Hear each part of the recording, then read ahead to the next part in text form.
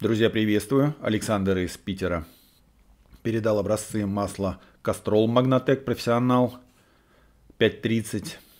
Значит, это А5Б5 масло. Э, описание автомобиля, условия эксплуатации, ну и две баночки свежей отработку. Значит, первое, что необходимо сделать, создать эталон данного масла, ну, чтобы сравнить с ним отработку. Так, я закладываю пару капель, обновлю сейчас спектрограмму, подкорректирую при необходимости. Вот такой спектр. Э, видно, значит, есть бугорок эстеровый. Вот он, пожалуйста, 12, примерно 12-13 сотых. По аналогии с Mobile 1 я бы сказал, что здесь э, в районе 2% эстеров. 2% это уже такой уровень, где может быть погрешность при кислотном щелочном. Далее, смотрите, что намерил прибор. 104% по противоизносным антифрикционным присадкам. Ну, это, э, болванку я создаю из Castrol 030, поэтому ничего удивительного, что рядышком здесь. Сейчас э, подправлю гликоль в нули выведу, сажу при необходимости. И вот прибор намерил значит, 1,87 э, кислотное и 8,7 щелочное. Но при таком уровне эстеров, значит, они э, дают небольшое занижение значит, э, щелочного и завышение кислотного, потому что по длине волны совпадают с карбоновыми кислотами. Так, поэтому я подправлю 9,7 я поставил, э, значит, щелочное, 1,8 кислотное.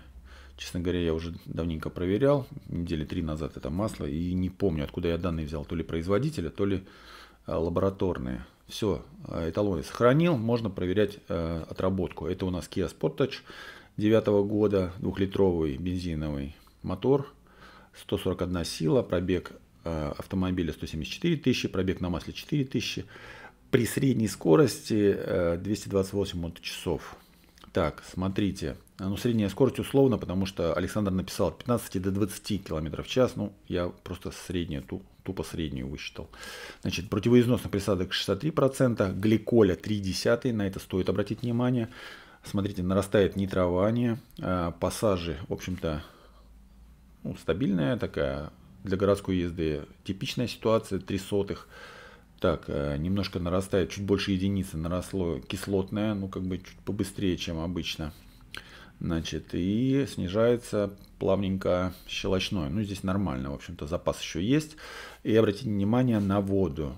1400 ppm вместе с гликолем это может говорить о попадании в масло антифриза. То есть вода, высокий уровень и значит, гликоль может говорить именно о попадании антифриза. Александру стоит обратить внимание на уровень антифриза, значит, на наличие эмульсии на щупе, на крышечке. Ну, так присмотреться к этому вопросу, потому что антифриз в масле это очень плохо.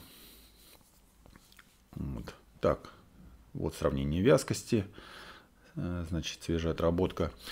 Ну, для такой невысокой средней скорости и до городской езды, короткие поездки, в общем-то, все нормально, я бы сказал. Плюс 30% э, к максимальной, от максимального разжижения. Да, не забывайте поставить палец вверх, подписаться, нажимайте колокольчик, если не хотите пропускать новые видео. Вот, сейчас покажу вам оценку ресурса. Значит, вот значение, то, что было, то, что стало по пробегу. И смотрите, э, значит, э, моющие нейтрализующие свойства 330 моточасов. Часов 5800 километров.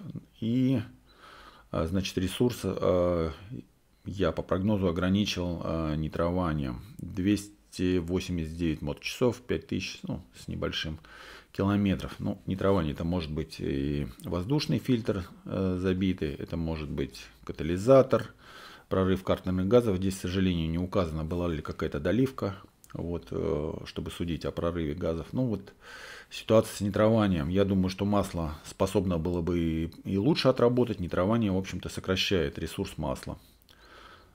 Вот. Вот такая картина.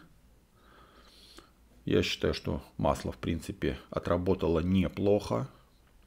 Вот, мне кажется, что, наверное, часов 350-360 оно могло бы отработать в нормальных условиях. Здесь есть какая-то небольшие проблемы с мотором, ну, в частности, антифриз.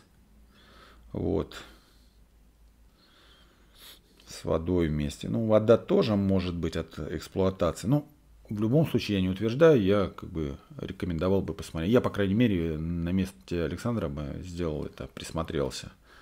Вот. Лучше, как говорится, намного дешевле и эффективнее выявить проблему на ранней стадии и решить ее, чем потом капиталить мотор в данном случае.